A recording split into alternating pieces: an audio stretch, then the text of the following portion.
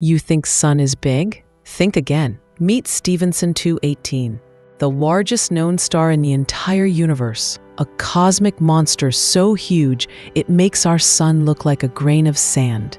Located nearly 19,000 light years away, Stephenson 218 sits inside a massive red supergiant cluster.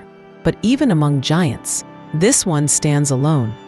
This star is 2,150 times the radius of the Sun. Wrap your mind around that. If Stephenson 218 replaced our Sun, its outer surface wouldn't just reach Mercury, Venus, Earth, or Mars. It would extend beyond Jupiter. Some estimates say it could nearly touch Saturn's orbit. A star so huge, you could fit over 10 billion suns inside it. Imagine that 10 billion suns. And despite its unimaginable size, Stephenson 218 is surprisingly cool, only about 3,200 degrees Celsius at its surface. That's cooler than many stars, giving it that deep red glow of a dying giant.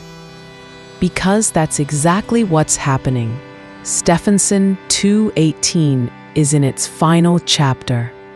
Massive stars like this burn fast and die young. And when it finally collapses, it won't go quietly. It will explode in a supernova so powerful it could light up its entire region of the galaxy. But here's the part that blows everyone's mind. We discovered this titan only recently, which means there could be even larger, even stranger stars out there hiding in the dark corners of our universe. So the next time you look at the sun, remember, it's tiny. Our whole solar system is tiny.